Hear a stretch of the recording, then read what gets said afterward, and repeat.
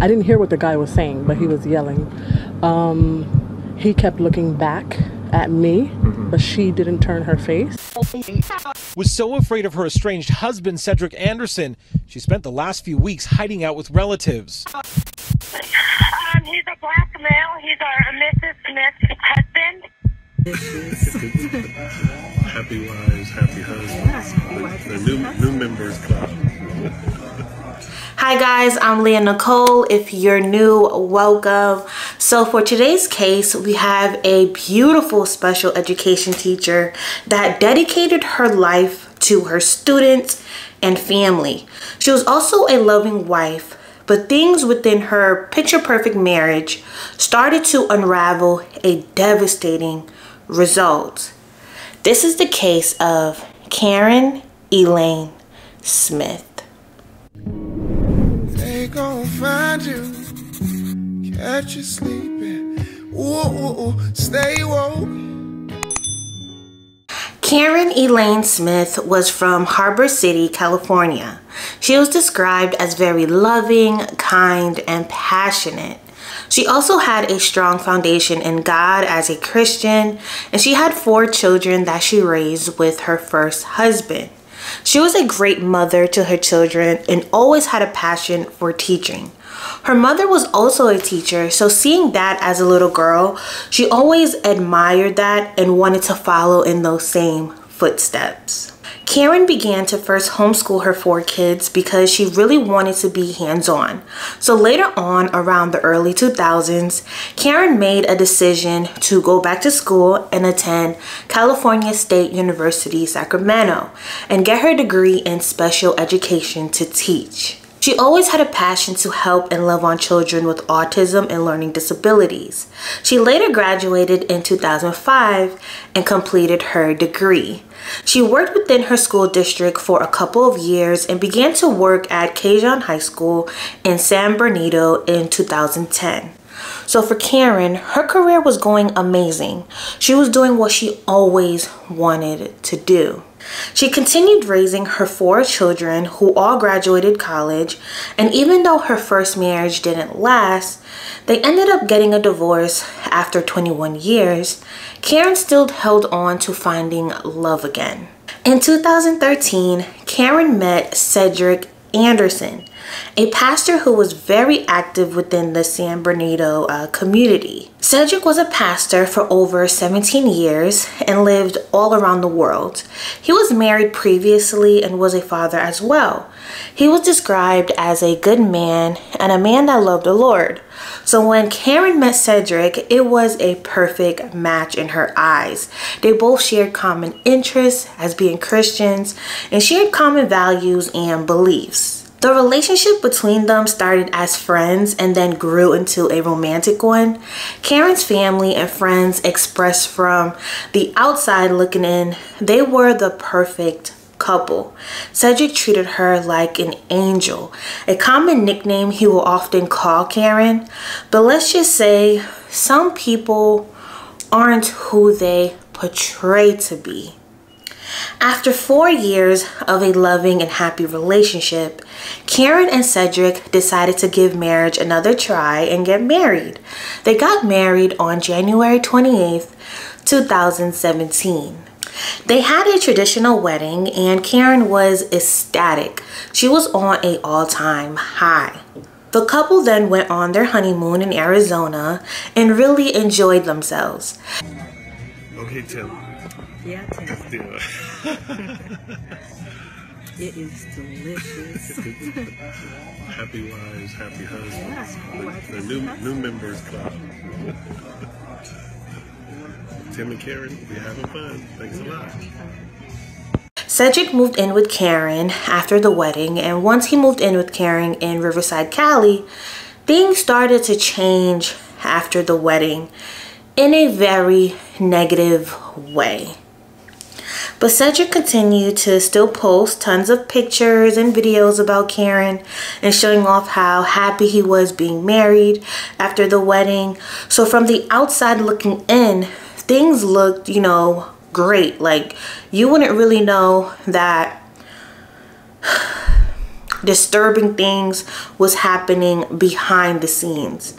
But on the other hand, Cedric was not who he pretended to be on social media. His behavior changed and he stopped preaching.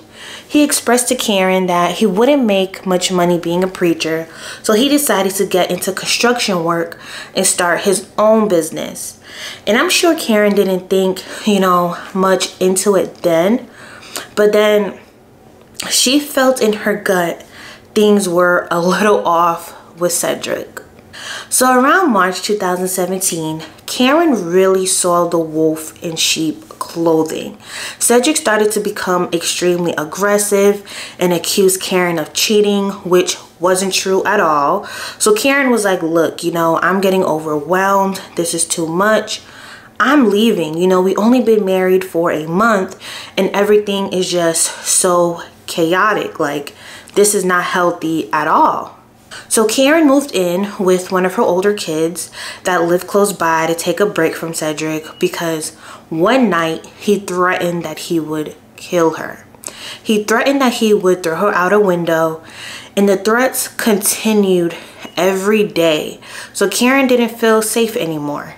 Not to mention, Cedric would still post on his Facebook how much he loved being married, how much he adored his wife, but offline he's threatening to you know take her out and throw her out the window so it's like there were two sides like he had two different faces that he were showing people in the public but with karen he was literally acting very abusive and a monster pretty much now cedric had a dark past prior meeting Karen, but I'm not sure if Karen was aware of it or not. Like I couldn't find much information on it. But around the 90s, Cedric had a history of domestic assault and battery. His former girlfriend accused Cedric of making multiple statements that he wanted to take her out and actually put a pillow over her face and a knife around her neck. But around 2014, all charges were dropped. So based off of Cedric's past, there were tons of red flags there. Cedric often begged Karen every day to come back home, but she didn't really feel safe, you know, anymore.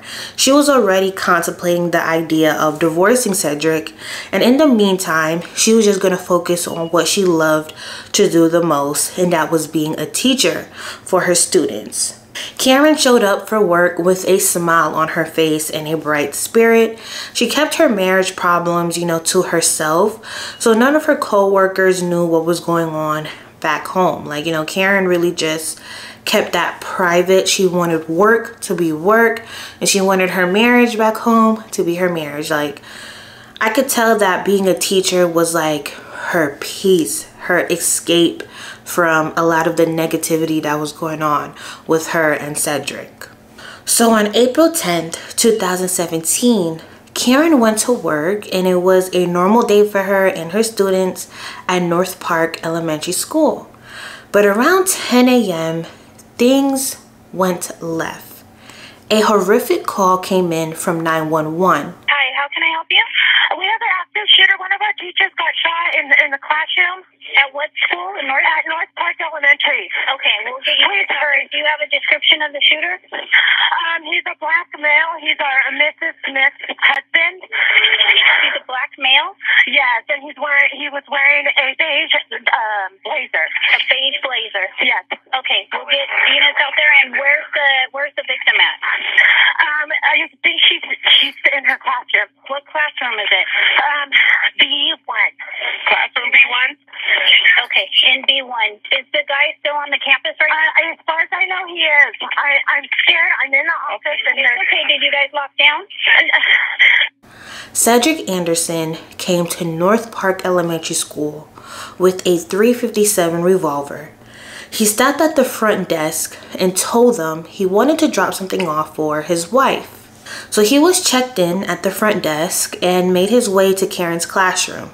Now, it was very common for spouses or close family members to make a quick stop by the school, and employees knew, you know, of Cedric. To them, you know, he was a nice man, you know, he was Karen's new husband. Nobody was thinking that Cedric was a very dangerous person at this point. Cedric made his way down to Karen's classroom, and when he opened the door, he fired his revolver and shot Karen multiple times in front of her students. And standing behind Karen were two little boys, one eight and nine, that was struck by the bullets. Investigators stated that after Cedric unloaded the revolver the first time, he ran out of bullets and he reloaded a shot at Karen again and then he turned the revolver onto himself, taking his own life. When the police finally arrived to the scene and everyone evacuated the building, Karen Elaine Smith was pronounced dead.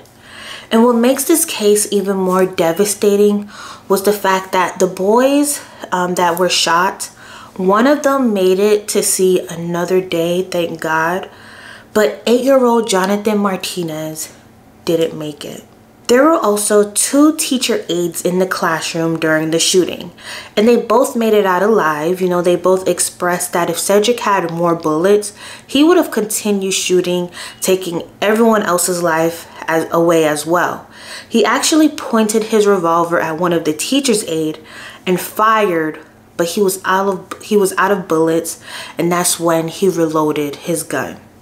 Investigators spoke with Karen's family after her death and really wanted some insight on her and Cedric's marriage. They really wanted to know why Cedric wanted to kill Karen. They searched for clues around the house and even, you know, if Cedric, you know, left letters behind on why he did what he did. Like they were just trying to find something to make sense of this whole horrific event. It's like Cedric woke up one day and knew he was going to take her life away. Or this could have been, you know, something he always wanted to do but waited for the, the right time to execute it. Tonight we are learning more about the special education teacher who was murdered from those who knew her best. Karen Smith was not only an educator, she was also a mother of four. Now her children are speaking for the first time to our Rick Montanez. Rick. And Robert, this is the home she shared with her estranged husband. Detectives searched and cleared the property earlier tonight, telling me they collected documents and storage devices from inside. And for the first time, Karen Smith's grown children telling me their mother would have never gone to school this morning, knowing Cedric Anderson would come after her there. A teacher for 10 years, Karen Smith, we've learned from family sources, was so afraid of her estranged husband, Cedric Anderson, she spent the last few weeks hiding out with relatives. She did not go to that school knowing that she was putting anyone in danger. This is a surprise to us. Over the phone, I spoke with three of Smith's four grown children. They would not discuss the couple's relationship, but shared their mother's love for teaching and their heartbreak over the deadly attack at North Park Elementary. She would be extremely heartbroken over the two students who were directly impacted by today's situation. Nathan Morris shot this cell phone video as SWAT officers rushed to the couple's home in Riverside. A relative was pulled from the house, questioned, and released. Detectives spent the evening searching the home and Anderson's BMW. Some neighbors say the couple was nice and peaceful, but others tell me there appeared to be trouble in this relationship too. I've heard ar- ar- uh, arguing, arguing coming out of the out of the windows, yelling, loud noises, but uh, I could never pick out any words. I couldn't really say what was going on at the time. Haley Sumney says two days ago she saw the couple arguing in their parked car. I didn't hear what the guy was saying, but he was yelling. Um, he kept looking back at me, mm-hmm. but she didn't turn her face. Tonight, Smith's family says the grief is overwhelming. She didn't deserve to die like this. She didn't. And she deserved better. It was very clear that Cedric was not okay mentally at all. And it's honestly a scary thing to know that there are men and even women out here that betray this perfect image. You know, you think these people are like normal citizens of America and come to find out like they're not okay mentally like they would harm you and pretty much harm others around you as well. Even down to um, even down to Cedric's Facebook account and his, you know, his posts. Like he would say things that you would think, oh, okay, you know, he's stable. You know, he's a preacher, a working man, a father. But then behind closed doors, you know, he's wrestling with his own demons within that are extremely heavy and dark to cause him to want to hurt his wife that he boldly said he loved. The horrific events that happened at North Park Elementary School was devastating, taking away, you know, an innocent student's life and also one of their beloved teachers who they had no idea was caught up in a domestic violent relationship. Karen Elaine Smith did not deserve this at all. A beloved teacher, mother, daughter, and friend. At Karen's memorial service, two of her children, Jenny and Adam, spoke about the strong, nurturing, committed, and intelligent mother they had. People who gathered here described this vigil as a celebration of Smith's life and her many roles in this community as a mother, daughter, friend, and beloved teacher. Music filled Grace Chapel in San Bernardino tonight as this grief-stricken community paid tribute to Karen Smith, whose life was taken too soon. My mother was a beautiful woman, inside and out. In the end, my mother will not be remembered by this tragedy. She loved me unconditionally and purposefully and to this day, I live and I thank God that I lived with no regrets. There was nothing between us that was left unsaid. Among stories of grief was a message of hope. Everything else will go down, but faith, hope, and love will sustain us. Karen is not lost, as has been said. She's in the presence of the Lord. And so shall she ever be because she served her God and she finished her course and she kept the faith. Loved ones say she expressed that faith through her love of music, some of which was played at the church tonight.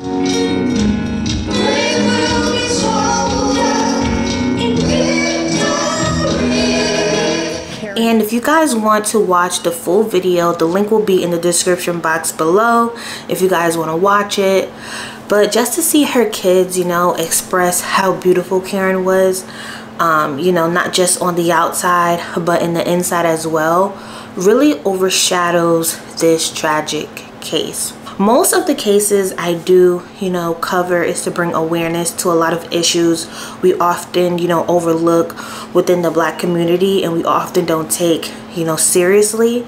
And I believe that domestic violence is one of them. And if Karen's story can encourage you to walk away from a relationship or marriage that is very toxic and dangerous, then please do so. Karen obviously had no problem walking away when things looked dangerous and toxic for her. It's just sad that the man that, you know, she was married to was extremely selfish to take away her life and his own due to control and his own inner insecurities which a lot of abusers battle within, you know, inside. But what he couldn't do is take away all that Karen did on this earth, not only for North Park Elementary School, but teaching children and loving on them. She also, you know, was a great mother. Her children were able to give you just a tiny glimpse of the woman of the woman that she was. And just that alone, you can tell she was amazing. Before we end this case, let's go ahead and pray for the family, you know, of the victim. Father God, first thing first, I want to pray for Karen's children, Lord. I ask you, Father, Lord God, that you bring them rest and peace throughout this whole situation. Even though, you know, they lost their mother a few years ago, I'm sure there's moments where they miss her every single day, Father God. So I pray for peace and I pray for closure and I pray for um, inner healing that only you can give them, Father Lord God. I pray for Karen's parents, Father Lord God. I pray that I know it's tough, you know, grieving and losing a child, Lord. So I just ask you that you give them peace and healing as well. All her friends and extended family members that miss her every single day. I also pray, Father Lord God, that you protect women and men you know, um, even my subscribers, Father Lord God, and protect them and give them discernment from people that don't have their best interests, Lord God. There's a lot of wicked people on this earth, Lord, that, you know, we might think are heaven sent, but underneath, you know, they carry a lot of hurt inside and a lot of, you know, just pain and it can honestly put us in a very dangerous situation, Lord God.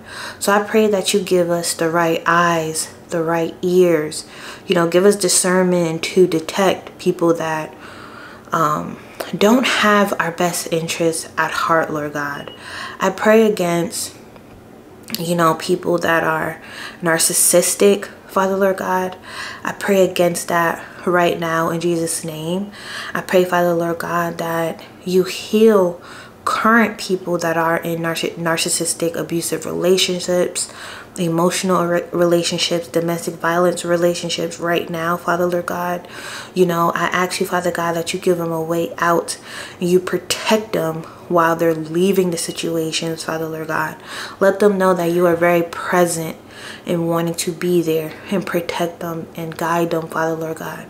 Just bring healing to families that have lost victims due to domestic violence, Father Lord God. And I thank you, Lord God, for just giving me the opportunity to have a platform to speak on different cases, real life cases that can eventually help others. Lord God, we will remember Karen Elaine Smith as a beautiful teacher, as a great mother, Father Lord God, as a great daughter and friend and family member, Lord God. Let this case be a light for others that, you know, it's okay to walk away from a marriage or situation that's not healthy for you, whether it's physically, internally, emotionally, Father Lord God. So I thank you in advance for all that you're about to do for Karen's family, all the peace and healing and joy and love that you will, Father Lord God, bring them during this season and then some. In Jesus' name we pray. Amen. Thank you guys so much for watching and I will see you guys in the next video. They find you, catch you sleeping. Ooh, ooh, ooh stay woke, baby.